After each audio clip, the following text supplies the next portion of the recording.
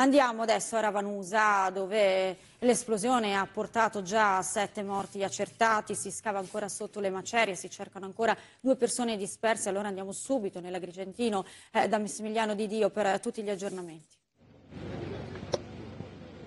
Sì, e tra poco saranno esattamente 48 ore che i vigili del fuoco scavano tra le macerie e dopo questa violenta esplosione si cercano ancora padre e figlio, Calogero e Giuseppe. E al momento quindi sono sette le eh, vittime accertate di questa tragedia, ehm, due le persone invece sopravvissute e davvero eh, la speranza chiaramente di trovare in vita i due dispersi è davvero minima ormai, ma ehm, si procede chiaramente a scavare tra eh, le macerie macerie. Vi diciamo anche che eh, se la priorità resta appunto il recupero di queste due eh, persone si va avanti anche con l'indagine, eh, la procura di eh, Agrigento lo sappiamo indaga per disastro e omicidio eh, colposo, sono, ehm, ci sono in campo anche alcuni esperti proprio per accertare eh, a livello tecnico che cos'è accaduto nel sottosuolo, eh, tra le ipotesi avanzate tra l'altro anche dai, dal colonnello Stingo, il comandante provinciale dei carabinieri in diretta proprio al TGCOM 24, lo abbiamo sentito,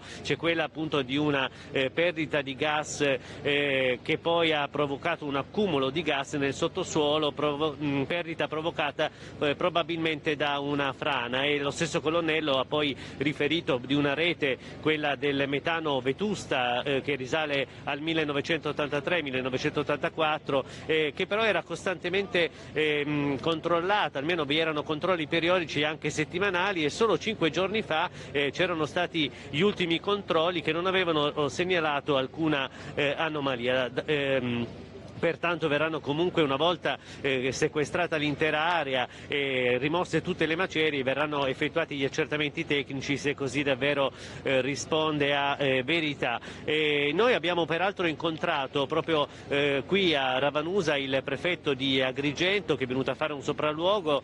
peraltro vi diciamo anche che la protezione civile sta effettuando un censimento delle eh, abitazioni per verificarne l'agibilità e determinare chi potrà rientrare o no in casa casa sono al momento un centinaio gli eh, sfollati che vanno peraltro dai vigili del fuoco a chiedere di poter entrare nelle loro case per recuperare effetti personali o beni di prima eh, necessità e non sempre è possibile proprio a causa della eh, insicurezza degli edifici. Sentiamo proprio le parole del prefetto che ha parlato anche di questa comunità. Nell'immediatezza naturalmente bisognerà dare un minimo di di contezza, di, di, certezza, di supporto a queste persone per quanto riguarda un tetto, un tetto un po' più stabile, tenuto conto che è chiaro che i tempi dell'inchiesta saranno quelli che saranno, non possiamo immaginare che siano tempi brevissimi, quindi bisognerà dare un po' di stabilità a queste persone eh, e poi mh, bisognerà guardare anche un po', dicevamo con il sindaco, al futuro di quest'area. Diciamo che un po' tutta la provincia è interessata da, da fenomeni eh, franosi, da fenomeni, tra l'altro noi quest'anno, come tutti sanno, Abbiamo avuto un'estate eh, molto torrida, un'estate eh, terribile, con temperature elevatissime e con incendi eh, che hanno devastato buona parte del territorio. E poi subito dopo abbiamo avuto queste piogge insistenti, torrenziali, eh, assolutamente in molti casi imprevedibili per quantità e per localizzazione Certo tutto questo rende un territorio di per sé abbastanza fragile, ma per una sua struttura